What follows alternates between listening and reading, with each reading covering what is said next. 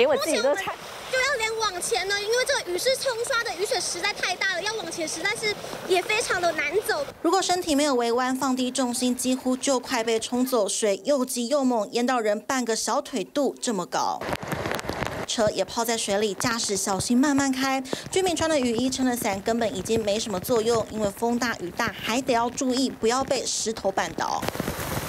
卡努台风位让中南部山区降下好雨，短短不到两天，仁爱乡累积雨量就超过一千毫米。这一台十四线普里通往雾社的唯一道路，现场土石流路基塌陷，马路变成一片汪洋，已经很吓人，何况是开车，根本是在考验运气。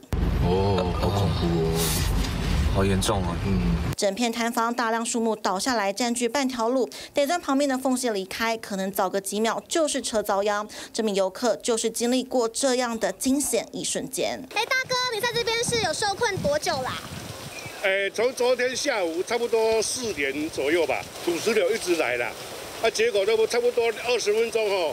那个土石流都堆高差不多一米多了。跟太太从云林来，结果受困在这，只能把车停在南丰村的超商，到朋友介绍的地方借住一晚。南丰村道路两旁都是堆积的土石，土石间又冲刷成小瀑布。台十四线是进到埔里清近雾社的重要公路，结果现在重点路段土石坍方占用全车道，无法通行。最严重的就在六十九点七公里处跟七十六公里处，甚至有路基坍方掏空的情形。